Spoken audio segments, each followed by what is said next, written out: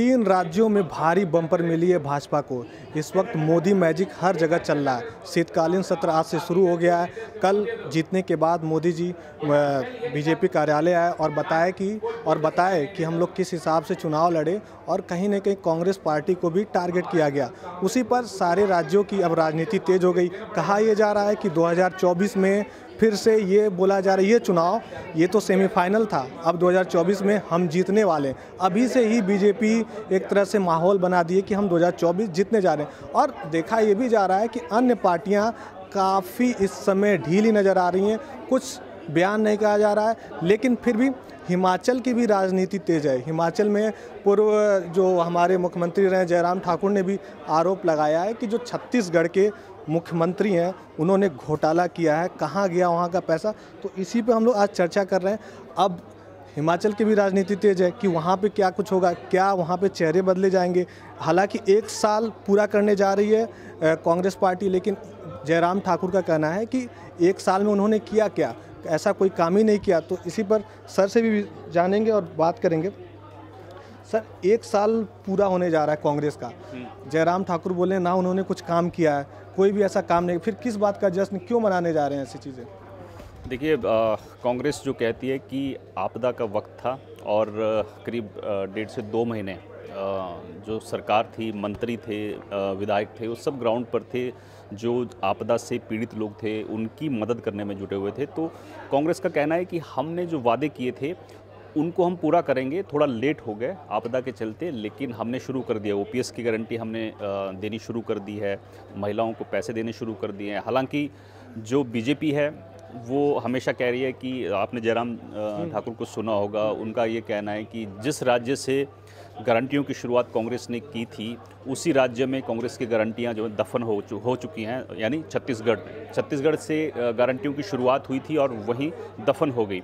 और जयराम ठाकुर ने ये भी कहा है कि कांग्रेस सरकार की हिमाचल में अब कोई गारंटी बची नहीं है। यानी वो एक संकेत दे रहे हैं क्योंकि बहुत लंबे टाइम से बीजेपी की तरफ़ से कहा जाता है कि कांग्रेस के बहुत सारे लोग उनके टच में हैं। तो ऑपरेशन लोटस के लिए बीजेपी बहुत फ़ेमस है। जयराम ठाकुर ने भी कहा कि हर तरह के घोटाले शराब घोटाले हो गए कोयला घोटाला ये, हो गया। ये उन्होंने छत्तीसगढ़ सरकार पर आरोप लगाए हैं। देखिए महादेव ऐप का मामला बहुत ज़्यादा उठा और सुर्खियों में रहा।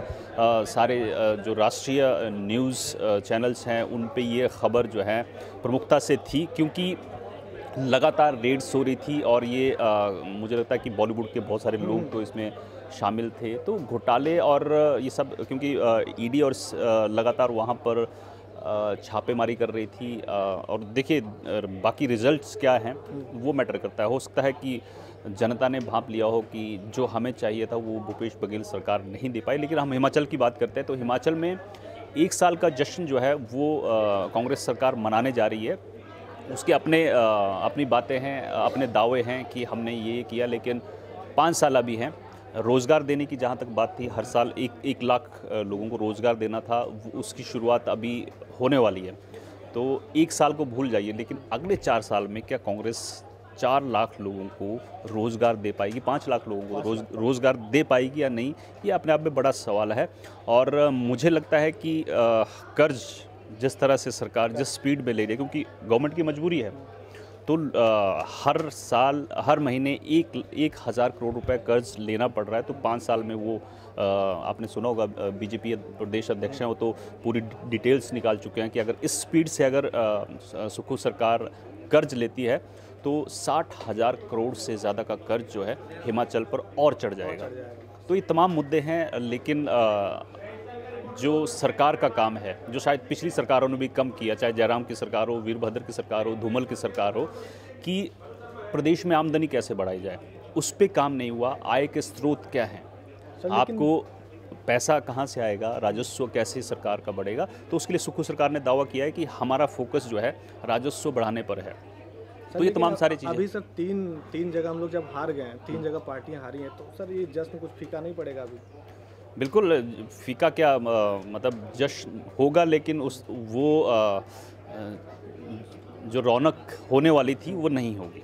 क्योंकि आ, मुझे नहीं लगता कि दिल्ली से कोई जाएगा और क्योंकि अभी तो मंथन शुरू होगा छः तारीख को इंडी गठबंधन की बैठक है। हार पर मंथन होगा मोदी को कैसे रोकना है बीजेपी को कैसे रोकना है इस पर तमाम बातों पर विचार होगा। गठबंधन जो विपक्षी गठबंधन है उसमें दरार है उसकी एकता पर सर जो मंथन होगा। एक सवाल सर एक ये भी है कि हिमाचल में अभी जब ये जश्न मनाया जा रहा है तो कैबिनेट में भी कुछ अदल बदल हो सकती है क्या? देखिए कैबिनेट विस्तार की बात तो लगातार पिछले सात आठ महीने से चल रही है लेकिन वजह क्या है सबको पता है। क्योंकि अगर तीन पद खाली हैं और अ, कम से कम छः से सात लोग चाहते हैं कि हमें मंत्री बनाया जाए तो लोकसभा चुनाव से पहले मुझे नहीं लगता कांग्रेस रिस्क ले लेगी। हालाँकि सीएम संकेत दे रहे हैं कि हम मंत्रिमंडल विस्तार करने वाले हैं। अगर करेगी भी तो हो सकता है कि एक या दो अ, पद भरे जाएँ तीन नहीं भरे जाएँगे क्योंकि उससे फिर कांग्रेस को दिक्कत हो सकती है लोकसभा चुनाव से पहले फूट पड़ सकती है। तो कांग्रेस जो है ना बड़ा फूक फूक के कदम रख रही है। सुक्खू जो हैं बहुत रणनीति के साथ चल रहे हैं कि अ, क्योंकि आपने जब शपथ हुई थी अ, सुखविंदर सिंह सुक्खू की तो उससे पहले आपने देख लिया था कि कांग्रेस में किस तरह की गुटबाजी सामने आई थी। वो आज भी है। आज भी उस पर एक परत है एक लेयर आ गई है कि हाँ सामने नहीं दिख रही है लेकिन हाँ अंदर खाने है। तो इसलिए सुक्खू जो हैं वो मज़े हुए राजनीतिज्ञ हैं, काफ़ी टाइम से वहाँ पर सक्रिय हैं तो वो बहुत फूक फूक कर कदम रख रहे हैं और अब अब हो सकता है कि एक या दो लोगों को मंत्री बनाया, तीन को नहीं बनाया, बनाएँगे, क्योंकि अगर तीनों को बना दिया जाएगा। तो फिर जो लोग नाराज़ हैं, उनको पता चल जाएगा कि पाँच साल हमारा कुछ नहीं होने वाला तो हो सकता है कि भाजपा उन पर डोरे डाले। तो ये सारी तमाम चीज़ें हैं। बाकी ग्यारह तारीख से पहले क्या होने वाला है, वो पता चल जाएगा। सर, एक सवाल एक और बचता था कि उप मुख्यमंत्री मुकेश अग्निहोत्री हैं। पंजाब के मुख्यमंत्रियों से काफ़ी मिलजुल रहे हैं। तो सर, क्या आने वाले दिनों में कुछ ऐसा हो सकता है कि कुछ सीट दी जाए? केजरीवाल सरकार वहाँ पे भी। नहीं ये देखिए हिमाचल में मुझे नहीं लगता कि अभी आम आदमी पार्टी उतनी स्ट्रांग है क्योंकि शुरुआती दौर में अ, आम आदमी पार्टी का जादू थोड़ा दिखा था हिमाचल में लेकिन अब नहीं है। खासकर पहाड़ी राज्य उत्तराखंड में आपने देख लिया हिमाचल में अ, मुझे नहीं लगता कि आम आदमी पार्टी अभी उतनी स्ट्रांग है लेकिन हाँ आने वाले क्योंकि राजनीति में कुछ भी हो सकता है तो आने वाले पाँच साल बाद क्या होगा वो वक्त बताएगा लेकिन अभी फ़िलहाल आम आदमी पार्टी के लिए वो स्थिति नहीं है। तो जयराम ठाकुर लगातार बोल रहे हैं कि दस गारंटी आपने बताई हो और सरकार का कहना है कि हम दस गारंटी आपको दे चुके हैं। फ़िलहाल अभी दस काम भी नहीं गिना पा रहे हैं। जयराम ठाकुर का ये कहना है कि ये कैसा जश्न का माहौल है जहाँ पे आप दस काम भी नहीं बता पा रहे हैं कि आपने वो दस काम क्या किया। लेकिन प्रदेश के सुखू जो प्रधान मुख्यमंत्री वो बोल रहे हैं कि हम दस गारंटियों पे काम कर चुके हैं। जो हमने बोला था वो किया है और एक साल पूरा करने जा रहे हैं और उसके बाद जो भी काम होगा हिमाचल के लिए अच्छे काम होंगे, वो काम हम करके दिखाएँगे। लेकिन जो आरोप प्रत्यारोप, आपको पता ही है, राजनीति का काम है, लगते ही जा रहा है। लेकिन जो हम वोटर्स हैं, हमें ये तय करना है कि हम किसको वोट दे रहे हैं और हम ये जज खुद करते हैं कि हम क्या काम मुख्यमंत्री वहाँ किए हैं, क्या नहीं। लेकिन आपको पता ही है, राजनीति होते रहती है। तो फिर हम बात करेंगे हिमाचल की।